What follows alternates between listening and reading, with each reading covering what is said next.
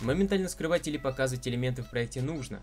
С видимыми слоями скрытой геометрии в данной программе возможно даже больше. И обо всем поподробнее.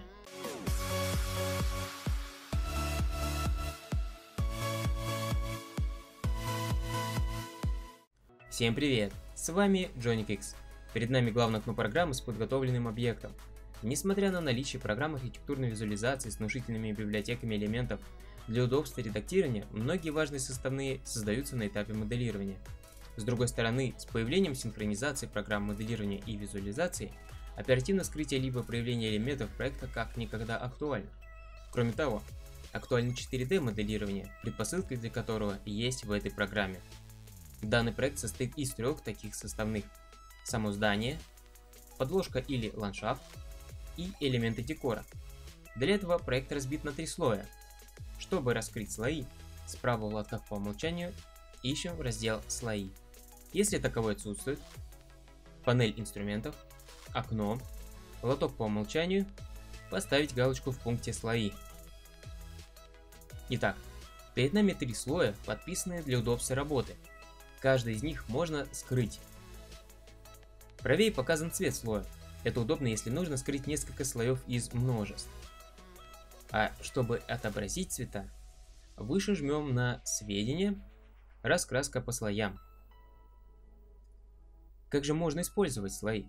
Допустим, у нас есть только сам SketchUp и надстройка для него в виде V-Ray или корона. С помощью плоскости сечения можно создать простую имитацию возведения здания. Ссылка, как всегда, на готове. После возведения здания вокруг него должно появиться окружение. И здесь слои сыграют свою роль. Оставляем здание и раскрываем раздел «Сцены». Если их нет, то также через окно лоток по умолчанию. Не знаком с анимацией? Ссылка не дремлет.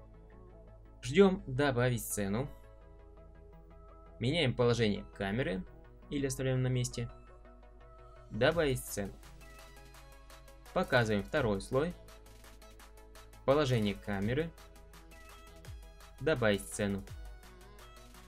Третий слой положение камеры, добавить сцену. По итогу готов трехэпизодный ролик с постепенным появлением двух других слоев. Таким образом можно и здание возвести, главное не забыть разделить его по слоям. Но вот загвоздка. Заказчику не нужны фонарные столбы возле подъездов, а они привязаны к целому слою. Как быть? Скрыть эти столбы. Выделяем нужные для скрытия объекты. Правой кнопкой мыши «Скрыть». Главное не промахнуться и случайно их не стереть. Готово. Допустим, что вместо них стоят другие фонарные столбы, которые будут показаны в последний момент. Раздел сцены. Возможно было сделать все сначала, но внесем правки здесь. Выделяем последнюю сцену, на которой есть все объекты, и обновляем их, убрав таким образом скрытые столбы, так как сцена сохраняет проект в момент ее создания. То есть на тот момент столбы еще были на сцене. Меняем положение камеры. Чтобы показать скрытые столбы, то есть любые вообще даже скрытые объекты, в панели инструментов «Вид», «Скрытая геометрия». Появились очертания столбов. Выделяем их, правой кнопкой мыши «Показать». Перед добавлением сцены не забываем убрать галочку «Скрытая геометрия».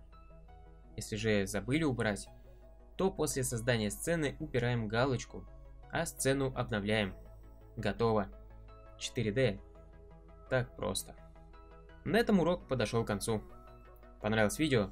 Ставьте лайки и подписывайтесь на мой канал, чтобы не пропустить новые выпуски. Остались вопросы? Пишите в комментариях, что вас интересует.